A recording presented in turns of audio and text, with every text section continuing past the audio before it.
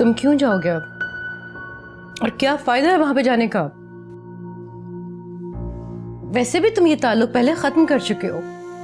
अम्मी उसने अपनी आधी ज़िंदगी मेरे इंतज़ार में गुजार दी। जब तक वो मेरे सामने खड़ा रहा मुझे होश ही नहीं रही। उसके चेहरे के आगे तमाम चेहरे फेड आउट होते रहे।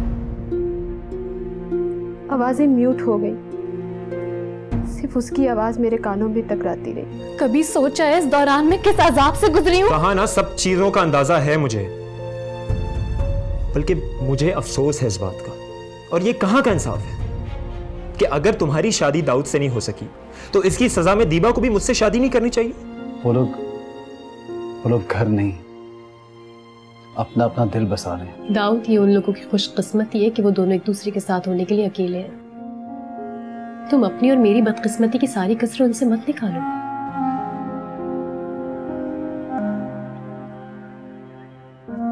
और वैसे भी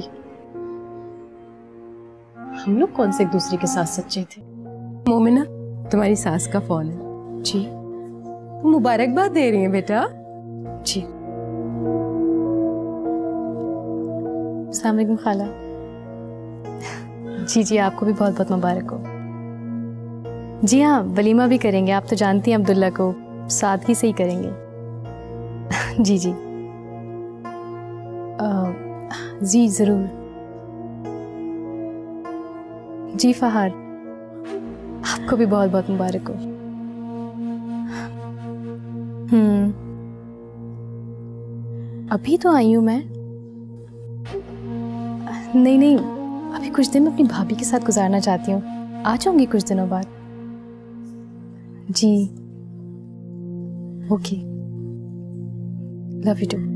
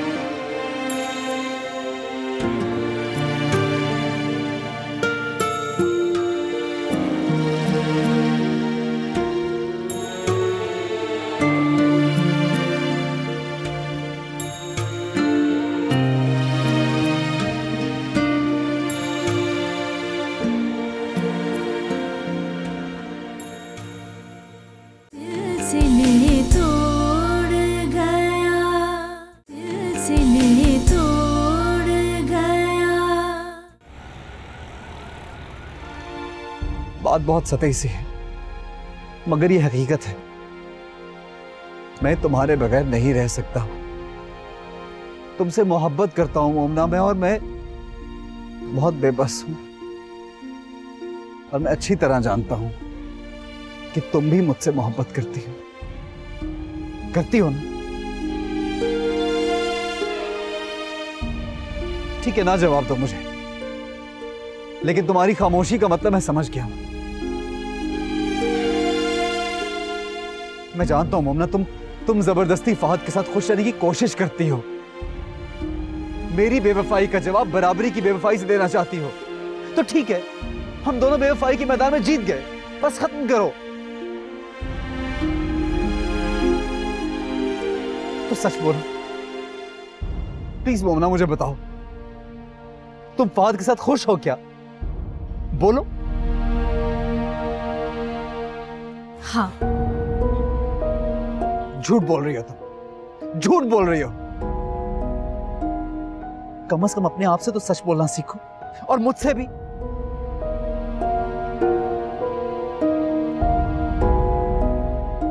अच्छा एक लम्हे के लिए तुम फहद को, नायाब को, सबको अपने दिल से माइनस करके खुद से सवाल करो। तुम्हें जवाब यही मिलेगा कि तुम मेरे साथ रहना चाहती हो। दाऊद के साथ। दाऊद, फहाद और नायाब हमारी ज़िंदगी की सबसे बड़ी हकीकतें हैं। कोई बोतल का जिन नहीं है जो हमारे बुलाने पे आएँगे और हमारे बुलाने पे चले जाएँगे। कभी कभी हमारे दिल का जवाब सिर्फ़ एक हसरत की सूरत में मिलता है। इस बात को एक्सेप्ट करो।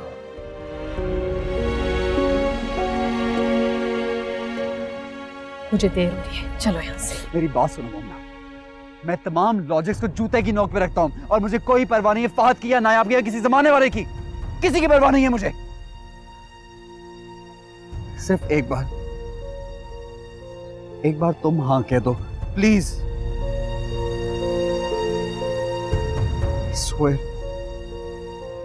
मैं हर तूफ़ान को फेस करूँगा, मोमना। सोच लो। हिम्मत करो। तुम्हारा साथ देने को तैयार हूँ। प्लीज़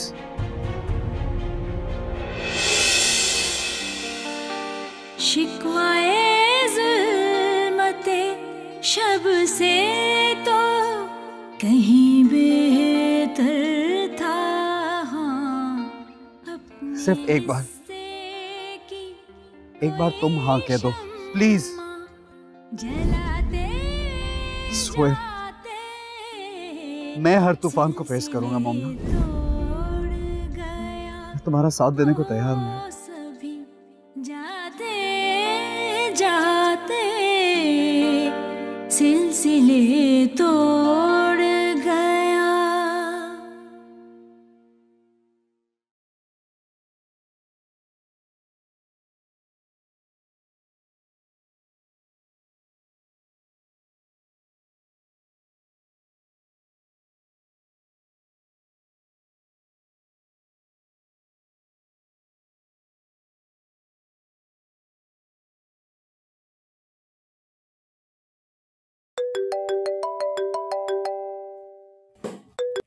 हाँ मोमना यार जल्दी बात करो I have to go to the meeting very important तुम्हारे पास वैसे भी वक्त होता ही कहाँ है?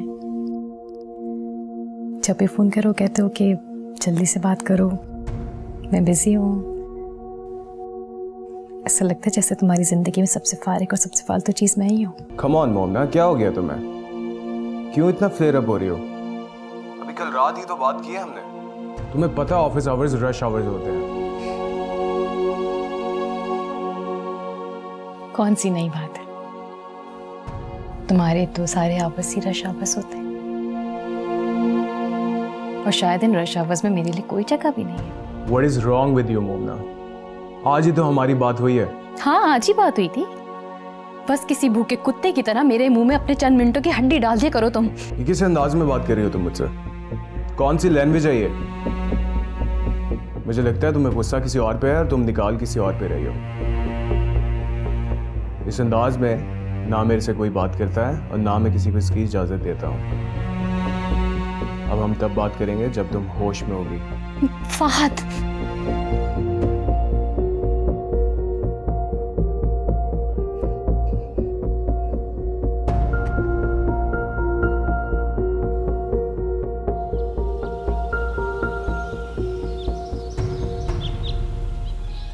मिलने के लिए मोहब्बत का होना ज़रूरी नहीं होता।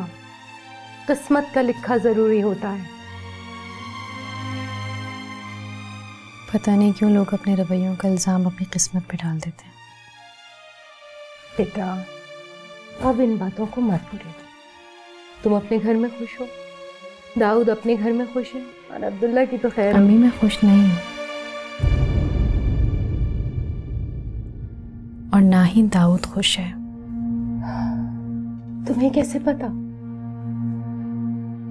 दाऊद ने कहा है मुझसे। उसे तुमसे और तुम्हें उससे अब ऐसी कोई बात नहीं करनी चाहिए। अगर तुम दोनों खुश नहीं भी हो तो भी।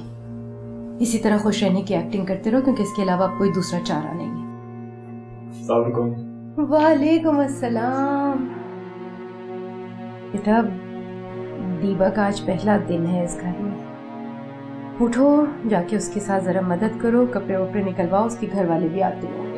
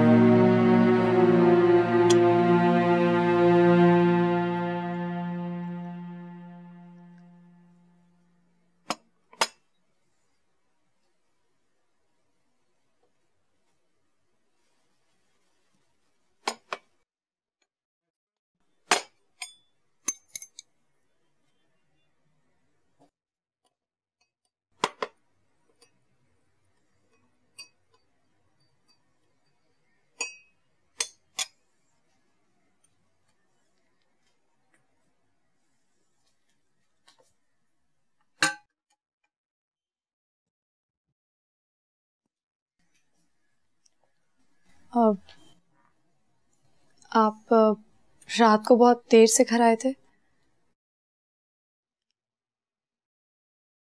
खैरियत तो थी ना। कहाँ गए थे? क्यों? तुम क्यों पूछ रही हो? नहीं वो थोड़ा अजीब था। आप पहले कभी आधी रात को कहीं गए नहीं और फिर इतनी देर से लौटे तो मैं परेशान हो गई थी। परेशान होने वाली क्या बात है इसमें? हम्म? नहीं आप इतनी देर से कहीं जाते नहीं हैं पहले।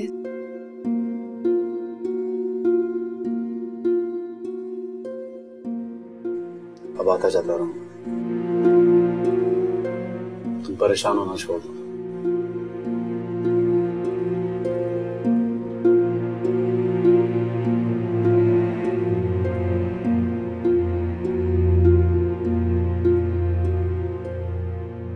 पता है मोमना कल रात से मैंने अल्लाह का कितनी बार शुक्र अदा किया?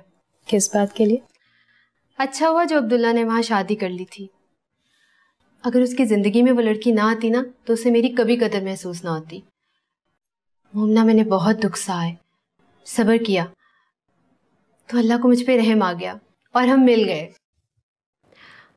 हाँ तुम्हें पता है आज शाम की फ़्लाइट से हम स्विट्ज़रलैंड जा रहे हैं? रियली हाँ ना। Hello, girls. My lord, Deepa, you look so gorgeous. uh, pictures. हम पिक्चर्स लेते हैं? Hmm. और पिक्चर्स इतनी अच्छी लग रही है तो ऑफ़ कोर्स पिक्चर्स लेना ज़रूरी है। लुक प्रिटी अब लो। Uh, मोमना एक सेकंड की मैं इसकी सोलो फ़ोटो लूँ। हाँ। I'm- दो minute. That was rude alright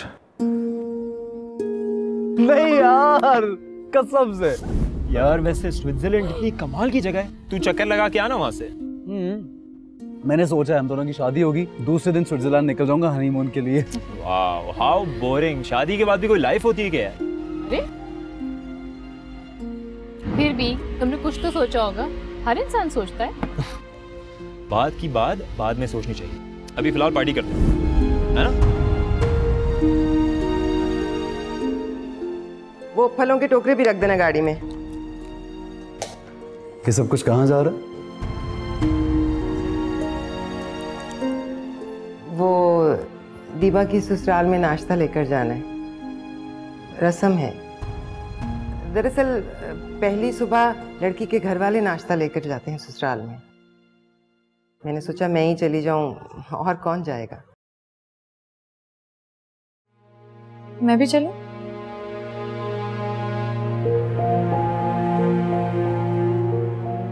नहीं तुम रहने दो। गाड़ी में आपका वेट कर। अच्छा। अ,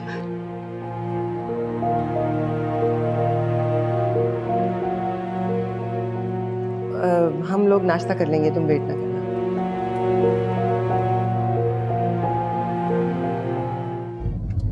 कितना अच्छा है ना मेरा बेटा। कितना मान रखता है रिश्तों का।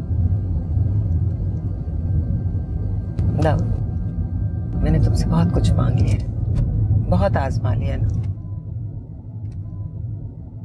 बस एक बात याद रखिएगा अम्मी जब मैं कुछ मांगूँगा तो अपना दिल बड़ा कर लीजिएगा प्लीज़ मेरे बच्चे तुम्हारे लिए तो मेरी जान भी हाजिर है।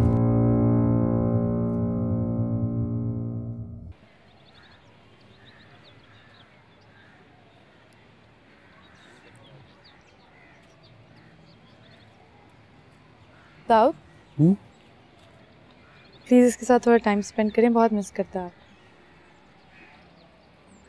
मैं तो इसके साथ ही हूँ। मुझे क्यों मिस कर रहे नहीं आप कुछ दिनों से काफ़ी अपसेट और खिंचे खिंचे से हैं। तो शायद उसको फील हो रहा है। तुम्हें जो बात करनी है करो। इसका सहारा क्यों ले रही है? नहीं अ, मेरा और आपका ऐसा रिलेशनशिप तो है नहीं कि मैं आपसे ऐसे सवाल कर सकूँ। हाँ जी क्या हुआ? अच्छा बताओ क्या कहना चाह रही हो? आप जानते हैं मैं क्या कहना चाहती हूँ। नायाब मैं तुम्हारे दिल का हाल नहीं जानता।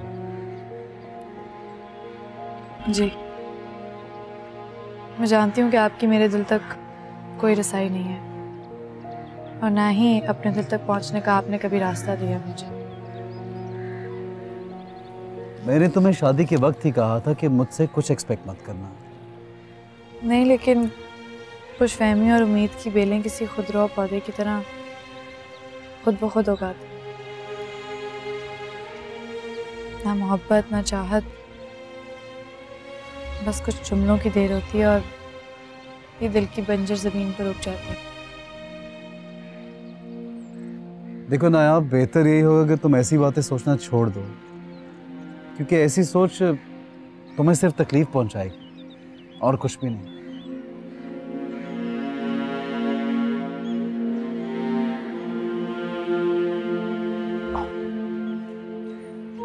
आओ भाई उधर चलते हैं हाँ?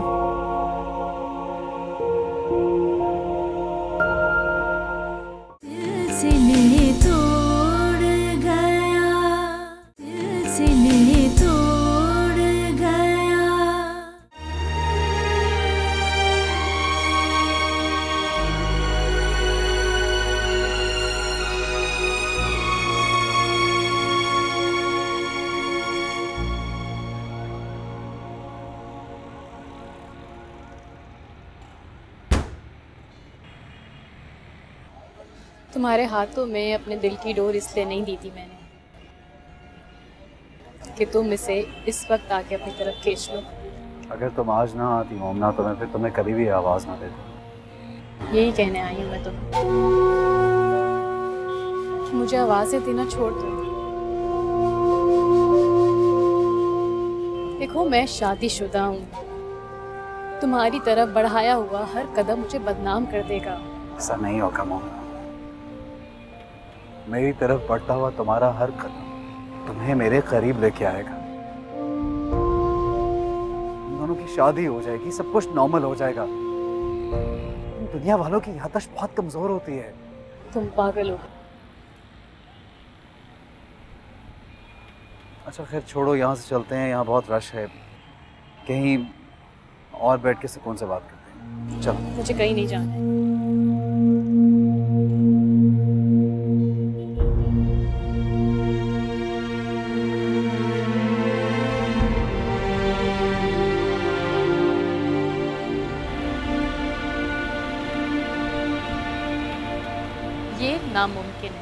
क्या नामुमकिन है?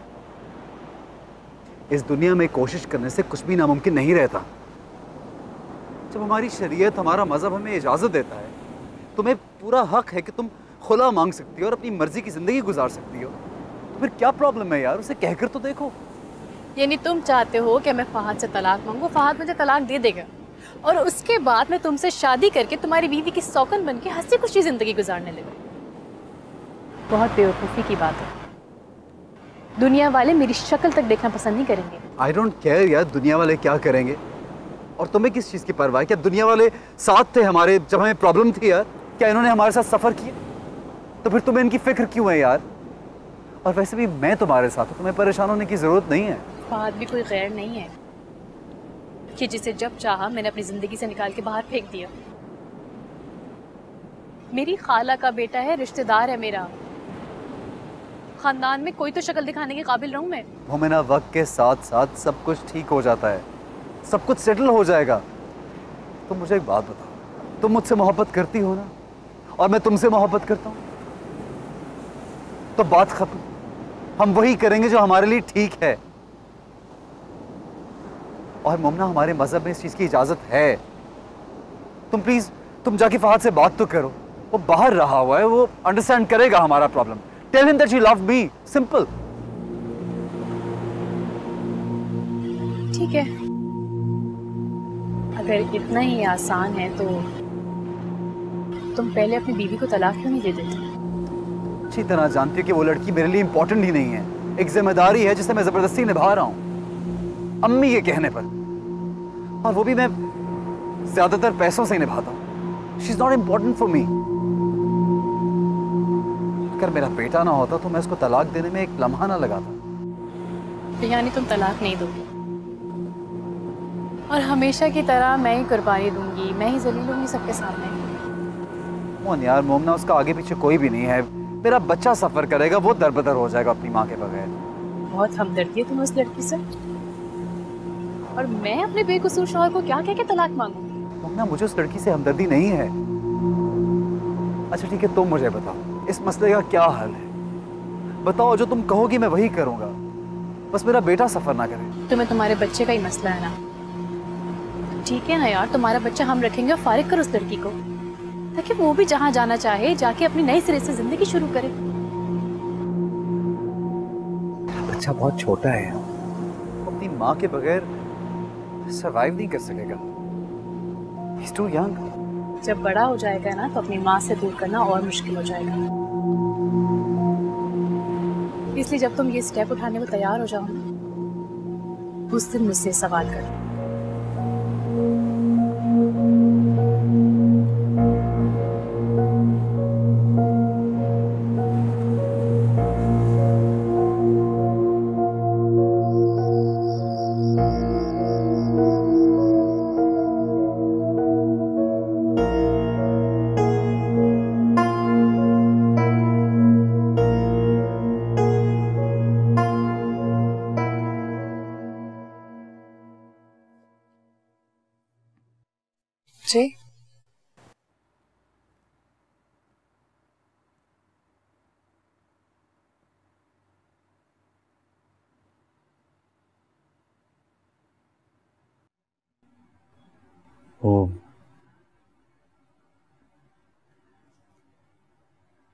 मैं दूसरी शादी कर रहा हूँ यार।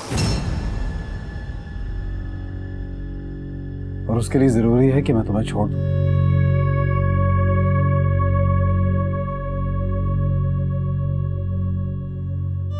उन्हें अभी बहुत छोटा है तुम तुम अभी से खुद को उससे अलग कर लो। ना तुम्हें तकलीफ़ होगी और ना ही उसको।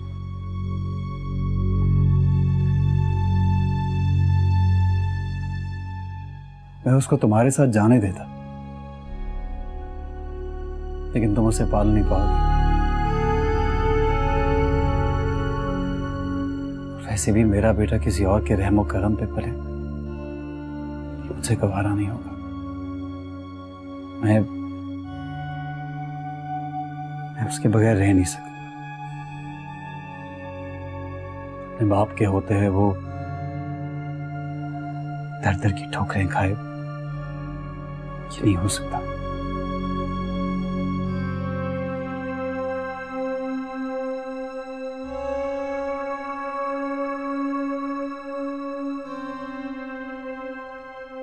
मैं चाहता हूँ हमारी डिवोर्स से पहले ही तुम अपना बंदोबस्त कर लो। तुम तुम अपनी बहन से बात कर लो।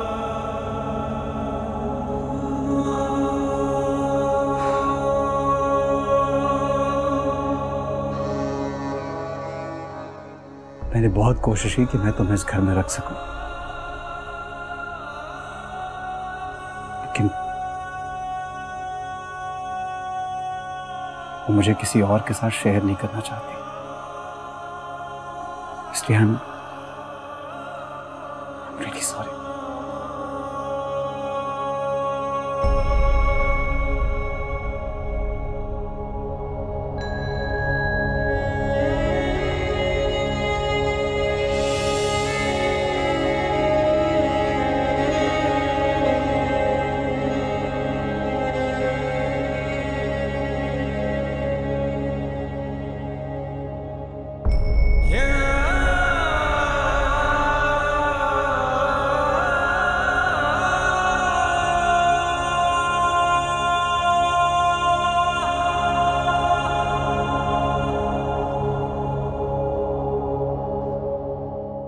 मोमना मैंने उसको बता दिया कि मैं उसको छोड़ रहा हूँ। मैं शादी कर रहा हूँ। तो क्या कहा उसने? कहा तो कुछ नहीं। बस मैंने सिर्फ़ उसकी आँखों से आँसू बहते हुए देखे। तो मैं रुका नहीं बस निकल गया वहाँ से क्यों? रुक के आँसू देखने की हिम्मत नहीं थी। मोमना मैं किसी भी जज्बे या किसी भी रिश्ते की इमोशनल ब्लैकमेलिंग में नहीं आऊँगा। मुझे सिर्फ़ अपने दिल से हमदर्दी है। किसी और ने तो उसका ख्याल रखा नहीं। अब मैं इसी की आवाज़ सुनूँगा। और अगर अब भी नहीं सुनूँगा तो शायद मेरा दिल धड़कना बंद कर देगा। हम हार जाएँगे दाऊद। ये सब कर गुजरने की ताकत हम नहीं पैदा कर सकते अपने अंदर। मोमना हमारी मोहब्बत इतनी ताकतवर है कि सारे हर्डल्स खुद ही पार कर लेगी। हमने इस जज्बे को दबा के पहले ही बहुत गलती की अब दोबारा ये गलती नहीं दोहराएँगे।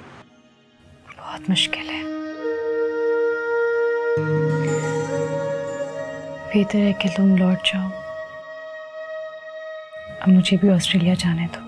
प्लीज़ यार मुझसे दूर जाने की बातें मत करो तुम्हें मेरी कसम। अब सिर्फ़ मेरी ज़िंदगी में आने का रास्ता ढूंढो मोमन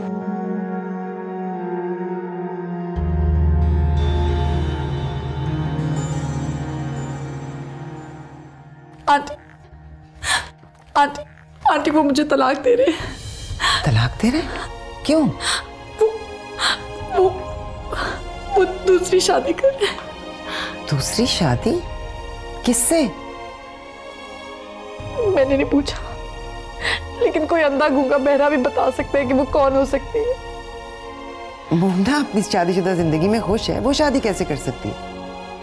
नहीं आंटी मैं अच्छी तरह जानती हूँ वो मोमिना ही हो सकती है और कोई नहीं हो सकता। मोमिना के अलावा ना किसी के थे और ना हो सकते। उन्हें मुझसे शेयर नहीं करना चाहती। और तब तक उनसे शादी नहीं करेगी जब तक वो मुझे नहीं छोड़ दे। आंटी उन्होंने मुझसे कह दिया कि तुम कोई और ठिकाना देख लो। आंटी वो हुनैत को छीनना चाहते हैं मुझसे। बहुत छोटा है मेरे बगैर कैसे रहेगा? मैं कैसे रहूँगी उसके बगैर? प्लीज़ मैं मर जाऊँगी। मैं नहीं रह सकती अपने बेटे के बगैर। अच्छा। आंटी उन्हें प्लीज़ ये जुल्म ना करने दे। मैं करती हूँ उससे बात मुझे बात को समझने तो दो ना। तुम बैठो ऊपर बैठो। मैं करती हूँ उससे बात।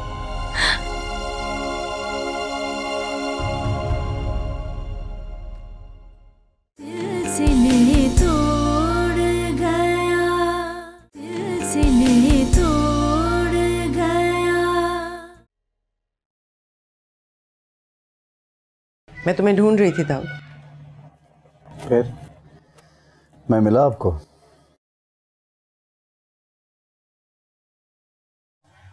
माएँ अपने बच्चों को ढूंढ ही लेती हैं। मैं जानता हूँ आज आप मुझे क्यों ढूंढ रही हैं। लेकिन तुम मेरे सवालों का जवाब ये सोचकर मत देना कि मुझे कोई एतराज़ होगा। ज़िंदगी अगर तुम्हें मेरी गलती सुधारने का मौका दे रही है तो मुझे कोई एतराज़ नहीं। कम अज़ कम तुम खुश तो रहोगे ना? आपको पता है मैं किससे शादी कर रहा हूँ? मुमना से। ऐसे क्या देख रहे हो? क्या समझते हो तुम? मुझे तुम्हारी तकलीफ़ का कोई अंदाज़ा नहीं है। दाऊद मैं इनसिक्योर हो गई थी। तुम दोनों की मोहब्बत की गहराई का मुझे अंदाज़ा नहीं था। मैं समझती थी, आहिस्ता आहिस्ता ये जख्म भर जाएगा। मैं नहीं जानती थी कि ये नासूर बन जाएगा। मुझे कोई एतराज़ नहीं है। मैं तुम्हारे साथ हूँ। क्या कहती है वो? कैसे मुमकिन होगा ये? वो कहती है कि पहले मैं नायाब को तलाक दे के उसके घर भेजूं फिर वो फहद से तलाक लेगी। और हुनैत? हुनैत पे तो उसको कोई एतराज़ नहीं है। बस नायाब को बर्दाश्त नहीं कर पाएगी बहुत छोटा है अभी हुनैत। और नायाब पर भी ये जुल्म होगा वो कहाँ जाएगी? उसकी बहन भी दुबई में रहती है। रो रो कर उसका बुरा हाल हो गया है। बड़ा जुल्म होगा एक बच्चे के साथ उसकी माँ के साथ। अपनी मोहब्बत पाने के लिए तुम एक बच्चे से उसकी माँ मत छीनो वरना वो बड़ा होकर तुम्हें कभी माफ़ नहीं करेगा। उसी बात ने तो परेशान किया हुआ अम्मी जानता हूँ ये बहुत बड़ा जुल्म है। तभी तो परेशान। समझ में नहीं आ रहा कि क्या करूँ। एक मशवरा दूँ तुम्हें? कहिए। तुम मोमना से बात करो। उसे अलग घर खरीद कर दे दो। तुम शादी करके अलग रहना। और मैं यहाँ हुनैद और नायाब के साथ रहूँगी। इस तरह नायाब पर भी कोई जुल्म नहीं होगा और हमारा बच्चा भी अपने बाप के घर अपनी दादी के साय में पलेगा। तुम सुकून से अपनी ज़िंदगी एंजॉय कर सकोगे। बेटा मुमना तुम्हारी बीवी बन सकती है हुनैद की माँ नहीं। तुम मेरी तरह अपने बेटे पर जुल्म मत करो।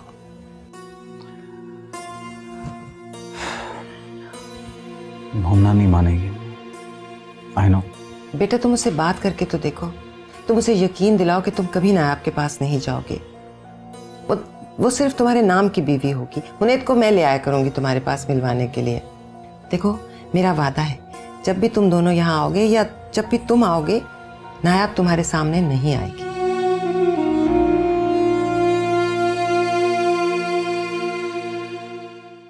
अम्मी के साथ रहोगी तो कोशिश करना, इनको भी तुमसे कभी कोई शिकायत ना हो। चीज़ की ज़रूरत हो तो अम्मी को बता दिया करना।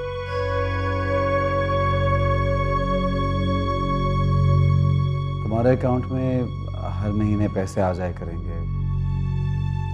मुझसे कोई काम हो, कोई बात करनी हो तो अम्मी के थ्रू मैसेज भिजवा देना। प्लीज़ डायरेक्ट कांटेक्ट करने की कोशिश मत करना।